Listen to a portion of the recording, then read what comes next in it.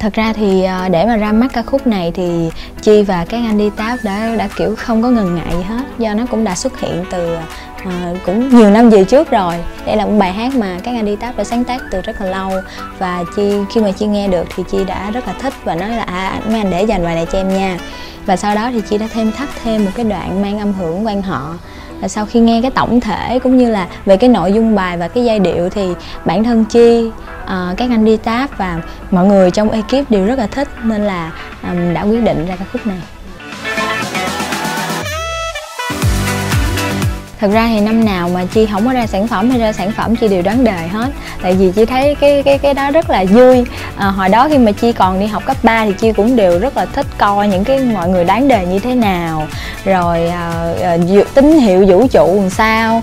Nhưng mà thật sự ra khi mà chi ra ca khúc để xe bò thì chi chỉ mong muốn là là một cái cái lời cổ vũ dành tặng cho tất cả các sĩ tử để thi thôi. Ờ, à, còn với lại cái nội dung nó cũng phù hợp, cũng nằm trong những bài mà các bạn ôn luyện nữa. Chứ không phải là mình ra bài đó mình có ý đồ là mấy bạn phải học theo cái bài đó của mình, hay là mình mình biết trước đề hay như thế nào là không thể nào có chuyện đó được. Ừ. em nghĩ là mỗi người đều sẽ có ờ, những cái mặt tính cách khác nhau. Đây không có nói theo nghĩa tiêu cực là kiểu mình sống hai mặt hay nhiều mặt nha. Nhưng mà mình kiểu như là mình sẽ có nhiều cái à, sở thích nhiều cái cái góc góc nội tâm của mình riêng. Thì bản thân chi thì à, cái sự êm đềm cái sự dịu dàng đó nó vẫn có trong con người của chi. Cho nên là khi mà chi hát dân ca là một dòng nhạc mà đã được nghe từ nhỏ mà chị yêu thích nó thì không có gì gọi là ràng buộc hết. Tuy nhiên thì cái ở cái độ tuổi 20 này thì cái năng lượng của mình nó nó nhiều hơn và mình muốn có một cái cái kiểu mình chinh phục và mình khám phá nhiều hơn nữa về cái khả năng của mình nên là chị nghĩ là um, mình sẽ quay lại dân ca ở một cái thời điểm khác. Ở mỗi cái thời điểm thì mình sẽ có cái năng lượng và cái niềm cảm hứng phù hợp để mình mình mình dành để mình, mình cống hiến cho cái cái thể loại đó. Thật ra thì sau khi mà chi đã quyết định chuyển hướng sang một cái dòng nhạc à, mới thì chi đều à, đón nhận hết tất cả những ý kiến của tất cả khán giả. Vì chi nghĩ là ở đâu đó dù khán giả thích con người Ờ, cái cái ờ, cô bé dân ca hay là hay là cô bé bây giờ thì đều là thích phương mỹ chi cả thôi.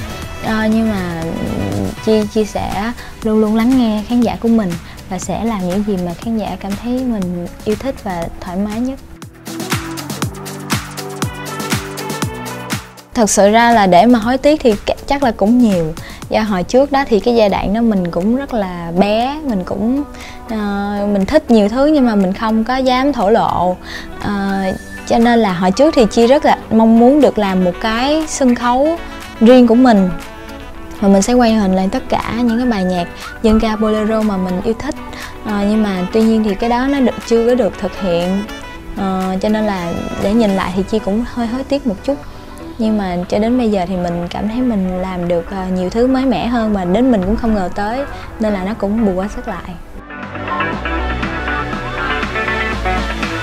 Duy nghĩ việc mà có khẳng định và cái cái cái tên tuổi hay là cái tiếng mình nó như thế nào thì thì là nó sẽ phụ thuộc vào cái thời gian và cái công sức của mình cái tâm của mình bỏ vào trong nghề và nó sẽ được đánh giá khách quan bởi uh, những cô chú anh chị đồng nghiệp uh, và khán giả và ekip làm việc cho mình uh, cho nên là để mà để mà nói là chị à tôi đang chứng tỏ này kia nọ thì cũng hơi khó nên không không thể làm như vậy.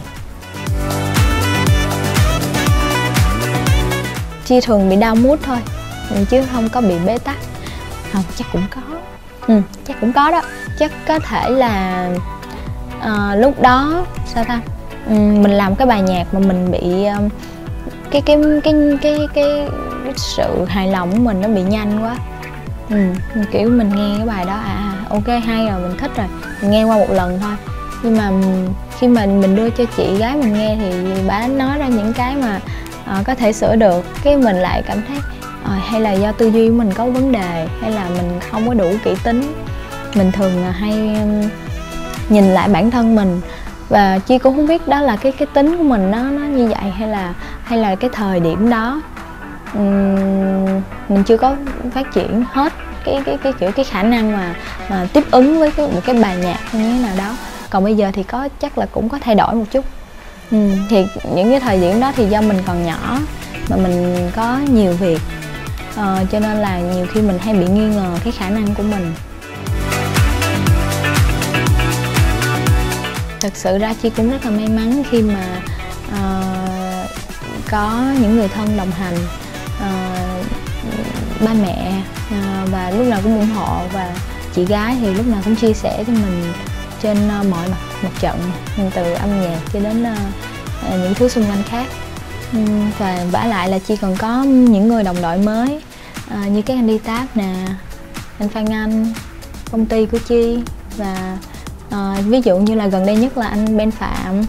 Um, thì mọi người uh, rất là cùng cái năng lượng với nhau và làm việc rất là vui à, hiện tại giờ cũng không biết là cho chưa tới cái giai đoạn cãi lộn hay như thế nào đó thì không biết. Nhưng mà không phải hơn nhưng mà không có nghĩa là sau này nếu không hợp tác với nhau nữa là cãi lộn nha. Chỉ là chỉ là mỗi cái dự án mình sẽ có những cái người nào phù hợp. Hiện tại bây giờ mình cảm thấy đây là những mảnh ghép phù hợp nhất với mình.